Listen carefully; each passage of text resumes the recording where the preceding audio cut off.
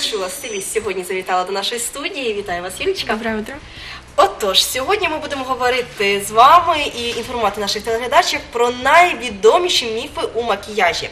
Це дуже актуальна тема зараз. Жінки питають, чи дійсно та чи інша історія з макіяжем є правдою. Для цього ми запросили сьогодні до нас стиліста, яка розкаже. Тож, перший міф. Кремом для глаз нужно пользоваться только в зрелом возрасте, говорят наши подписчики. Правда или нет? Ну, чтобы понять, правда или нет, нужно вообще понять, что такое кожа вокруг глаз. Она значительно отличается от остальных участков кожи. Во-первых, она намного тоньше. Она э, всего лишь одна четвертая толщины всей остальной кожи лица. Э, Соответственно, в ней меньше э, мышечных волокон, она менее упругая. Кроме того, в этой, на этом участке кожи практически нет сальных желез. То есть эта кожа не защищена у нас пленочкой и не удерживает влагу. И э, этот участок кожи очень подвержен э, различным нагрузкам. Да? Наши веки делают тысячи движений в течение дня. Именно поэтому появляются первые морщинки. Конечно. Значит, э, можно сделать вывод, что э, ухаживать за этой кожей нужно как раз с раннего возраста и никак не в зрелом начинать. Единственное, что для более молодой кожи мы используем кремы с солнцезащитными компонентами, с витаминами, увлажняющие. А Вот, а уже более в зрелом возрасте это более серьезные компоненты, пептиды, ретинолы, различные компоненты, которые способствуют выработке коллагена. Итак, значит, э, пользуемся кремом уже с юного возраста и ухаживаем за кожей вокруг глаз. Следующий вопрос. Жирный блеск лучше всего убирать только пудрой. Э, Если мы будем жирный блеск в течение дня убирать пудрой, э, помимо того, что это будет эстетически некрасиво выглядеть, это будет маска, э, мы добьемся совершенно противоположного эффекта.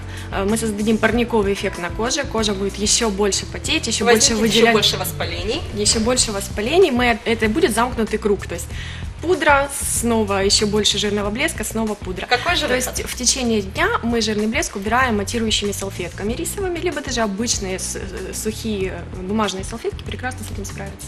Сейчас э, просто в тренде яркая помада, красная помада всегда была в моде, но некоторые представительницы боятся ею пользоваться, потому что говорят, что яркая помада идет не всем. Правда или нет? Э, Во-первых, красная помада э, это даже есть такие исследования ученых, что это психологически правильный цвет, то есть она воспринимается правильно. Э, И красная помада идет абсолютно всем. Единственное, что нужно подобрать правильный оттенок, который будет подчеркивать оттенок кожи и белизну зубов. И ее можно использовать не только в вечернем макияже, даже в дневном макияже. Единственное, что это должен быть единственный яркий акцент. То есть мы э, немного черной туши, светлые тени, лайнер, красная помада, и вы будете выглядеть абсолютно правильно даже в дневное время. А вот по оттенкам, по цветотипам для брюнеток, блондинок и шатенок. Э, Ну, Какой- какой пра- оттенок? правильно, конечно, подбирать оттенок э, э, экспериментальным путем, да, вы пробуете, вы можете даже в косметическом магазине без проблем, либо с помощью специалиста, визажиста подобрать этот оттенок. Но э, для блондинок и для холодного цветотипа это более с синим подтоном помада, и для рыженьких, да, для э, девушек с теплым оттенком кожи, это может быть алая помада. Мгм. Следующий вопрос от нашей телезрительниц. Карандаш для губ – это прошлый век. Многие сейчас отказываются от него, говорят, что контуром пользовались еще наши мамы. Да, возможно, это так, но э, если вы хотите добиться идеального линии, идеального макияжа губ и нанести равномерно по всей поверхности губ, без карандаша вам, конечно, не обойтись. Даже если вам это все-таки удастся, то ваши усилия совершенно ничего не будет стоить, потому что этот макияж не будет стойким. Поэтому, э, если мы используем э, помаду или блеск, тем более яркую, красную, конечно, лучше воспользоваться карандашом. Следующий вопрос. Основа для макияжа – это лишняя трата времени и средств или действительно она необходима? А, Основа под макияж, база, да, праймер, она подготавливает кожу к нанесению макияжа и обеспечивает его стойкость. И кроме того, э, праймер решает огромное количество проблем. Э, Для жирной кожи он убирает жирный блеск, для сухой кожи увлажняет участки, которые нужны. Если кожа тусклая, то праймер со светоотражающими частицами создает сияние кожи. А, И кроме того, защищает нашу кожу от вредного воздействия, от проникновения декоративной косметики. То есть, э, конечно, обойтись без праймера можно, но это будет неправильно. Лучше, конечно, пользоваться основой под макияж. Отличненько. Теперь, я думаю, все наши телезрительницы будут знать, для чего нужна база для макияжа. Также, чем больше нанести тонального средства, тем лучше, считают наши подписчики. Эм, в нанесении тонального средства важно не его количество, гораздо важнее его нанести равномерно и тонким слоем. Возможно, таких слоев будет несколько. Но главное, очень важно э, растушевать границу там, где нанесен тон и где кожи нет. Это, например, линия роста волос. Э, а какие-то значительные дефекты на коже мы маскируем э, консилером, э, и уже сверху покрываем тоном. А вот кроме эстетического такого эффекта некрасивого, чем еще опасен большой слой тоналки на лице? Э, Большой слой тонального крема, он создает, опять же, таки вот этот парниковый эффект, который, да, который подчеркнет все воспаления, наша кожа не дышит. Э, И э, кроме, ну, кроме эстетического, это, конечно, приведет еще к, к проблемам закупорка пор, дальше воспаление. То есть мы создадим себе больше проблем, которые потом же нам придется и маскировать. Следующий вопрос от наших телезрительниц. Косметика портит кожу или нет? Э, Декоративная косметика, э, та, которая была раньше, да, допустим, да, содержала много вредных компонентов. Э, Если еще в далекие времена, когда там и ртуть была в составе косметики, и много всего страшного, то, конечно, сейчас декоративная косметика, она скорее ухаживает за кожей, потому что тональный крем содержит силикон, который защищает кожу, тушь содержит питательные компоненты, которые питают наши реснички, помада содержит ультрафиолетовые фильтры, то есть скорее декоративная косметика ухаживает, чем она вредит коже. Главное ее правильно подобрать. Если под косметика правильно подобрана, если это качественная косметика, то она скорее ухаживает, чем вредит. Отлично. Следующий вопрос. Чтобы увеличить губы, нужно нарисовать контур, выступающий за их линию. Я думаю, что многие наши телезрительницы пользуются таким эффектом, когда они выходят за контур, и губы получаются действительно больше, но правильно ли это, и действительно ли это красиво в эстетическом плане? Э, Да, действительно, такой прием используется, но кроме контура там используются еще косметические средства, и тот же праймер, и основа, и база для помады.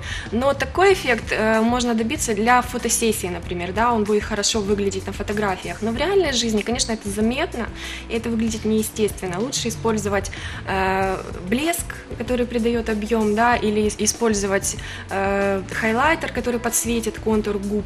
Вот. А таким вот приемом, да, когда мы контур рисуем больше, лучше воспользоваться для специального какого-то случая, для фотосессии, например. Понятно. Смывать косметику перед сном не обязательно, правда или нет? Ну, конечно же, неправда. Конечно же, нужно найти хотя бы 5 минут вечером, чтобы уделить себе, потому что э, косметика, э, э, сама косметика по себе за день, да, она должна коже дать возможность дышать, плюс еще загрязнения, которые нанесли, мы собрали за целый день. Э, мы знаем, что ночью кожа активно обновляется, соответственно, нужен доступ кислорода. Э, если мы будем засыпать с макияжем, на утро мы получим и отеки, и закрытые поры, и э, увеличим риск возникновения морщин. То есть, конечно, нужно найти эти 5 минут, 10, которые... Необходимо внести, как правило, обязательно, Обязательно. очищать кожу лица на ночь. Обязательно, обязательно снять хотя бы, э, если уже совсем нет сил, времени, возможности, э, хотя бы э, тоник, да, мицеллярная вода, и если нет возможности полноценно умыться, снять косметику. Мы говорили о том, что косметика, правильно подобранная под ваш тип кожи, она может даже принести какую-то пользу. Да. Но некоторые телезрительницы считают, что косметика как таковая сейчас, она не натуральна, она не имеет срока годности, и можно ею пользоваться, пока она не закончится. Правда это или нет? Э, На каждой упаковке косметического средства мы видим э, срок годности, да, там дату изготовления. Мы сейчас даже видим. Вот. А еще мы видим вот такую вот крышечку открытую, и на ней на ней написано вот эти вот 12М, да, это не 12 метров, это 12 месяцев, и это как раз тот срок, которым нужно пользоваться э, этой косметикой. Э, этот, э, это время начинается с момента открытия упаковки. Э, и по истечению эта косметика уже может нам не помогать, а вредить. Понятно. Теперь, я думаю, последний вопрос. Некоторые считают, что ухаживать за кистями для макияжа, за спонжиками не обязательно. То есть, если пользуешься ими только ты, то и вреда своей коже ты не несешь. Это же твои личные микробы. Никакого заражения не произойдет. Э, Ну, любая косметика – это э, очень хорошая среда для размножения любых микроорганизмов. То есть э, наши кисти, они контактируют с косметическими средствами, они контактируют с нашей кожей, они ко- контактируют с окружающей средой, да, частички пыли в воздухе. Все это оседает на кисточках и создает угрозу инфекции. То есть, если даже вы сами своей кисточкой, спонжем пользуетесь, конечно, его нужно очищать. Э, В домашних условиях это средство для снятия макияжа, даже влажные салфетки для снятия макияжа хорошо для этого подойдут. Ну и раз в месяц устраивайте такое купание своим Хотелось бы узнать кистям. подробнее о купании, как его А, делать и можно что ис- использовать. Можно использовать средства для очищения, которые вы используете для кожи, да, пенки, гели, муссы для умывания, они прекрасно подходят и для кистей тоже. И для натуральных э, кистей с натуральным ворсом можно использовать даже шампунь. Э, то есть мы моем э, в теплой воде, сушим вертикально, чтобы не портить ворс и кисти, и этого будет достаточно для такого ухода. Спасибо вам, Юлечка. Я думаю, что к Пожалуйста. вам, как к стилисту, постоянно обращаются девушки с такими же самыми вопросами, с такими же самыми мыслями. Хотелось бы узнать от вас какие-то пожелания для наших телезрительниц, такие общие. Ну, во-первых, э, не жалейте времени и усилий да, там, для себя и э, узнавать ту же информацию, задавать правильные вопросы э, и использовать косметику. Пускай это будет меньше, но лучше. То есть, да, мы не усердствуем с макияжем, мы наносим тон равномерно и немного, мы используем э, один акцент в макияже и, конечно, ухаживаем и за кистями, и за собой. Э, Не забываем э, следить о сроках годности, э, и тогда косметика нам пойдет только на пользу и не принесет никакого вреда. Спасибо вам большое. Нагадую нашим телеглядачам, що сьогодні до нашої студії завітала стиліст Юлія Мачула.